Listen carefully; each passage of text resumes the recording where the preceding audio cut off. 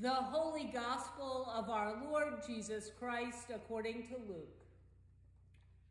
Now on that same day, two of the disciples were going to a village called Emmaus, about seven miles from Jerusalem, and talking with each other about all these things that had happened.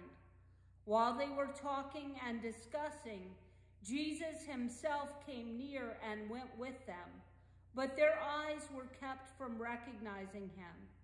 And he said to them, What are you discussing with each other while you walk along? They stood still, looking sad. Then one of them, whose name was Cleopas, answered him, Are you the only stranger in Jerusalem who does not know the things that have taken place there in these days? He asked them, What things? They replied, The things about Jesus of Nazareth, who was a prophet, mighty in deed and word, before God and all the people, and how our chief priests and leaders handed him over to be condemned to death and crucified him. But we had hoped that he was the one to redeem Israel. Yes, and besides all this, it is now the third day since these things took place. Moreover, some women of our group astounded us. They were at the tomb early this morning, and when they did not find his body there, they came back and told us that they had indeed seen a vision of angels who said that he was alive. Some of those who were with us went to the tomb and found it just as the women had said, but they did not see him.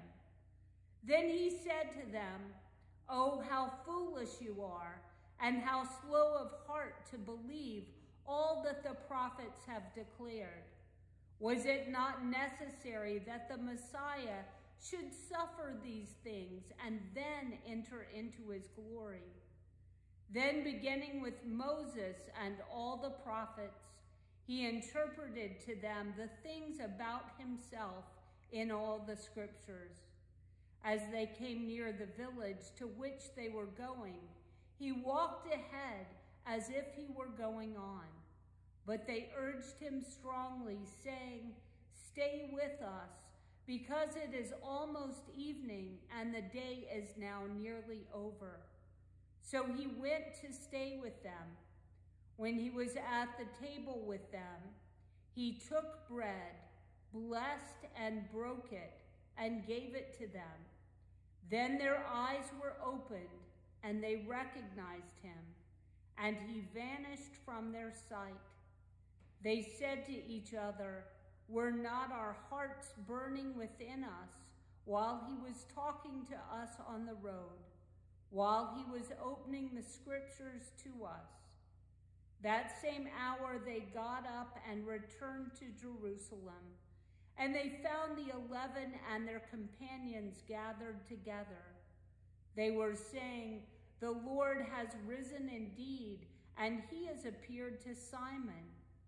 Then they told what had happened on the road and how he had been made to them, made known to them in the breaking of the bread. The gospel of the Lord. Praise to you, Lord Christ.